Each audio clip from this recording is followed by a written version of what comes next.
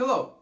Welcome to the Xamarin Code Once built for Android and iOS course. My name is Eduardo Rosas and building mobile applications is my life.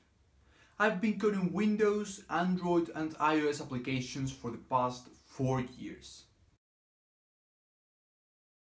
Coding once for Android with Java and another for iOS with Objective-C or Swift is good, but it takes a lot of time and a lot of effort. By the end of this course, you will know how to create Android and iOS apps, sharing most of the code. You will learn the basics of the C-sharp language.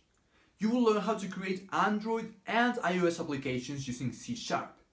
You will learn how to share this C-sharp code between both platforms. You will learn to implement cloud-based services into your apps, and many more things.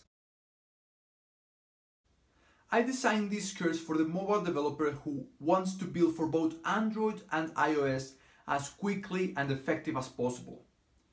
This is also a great course for those who are looking for a job. Just picture yourself you can feel the position of an iOS and an Android developer at the same time with the same amount of effort. You can kind of like get paid twice, right? Please feel free to look at the course description so you can be certain that this course is for you. I look forward to see you inside.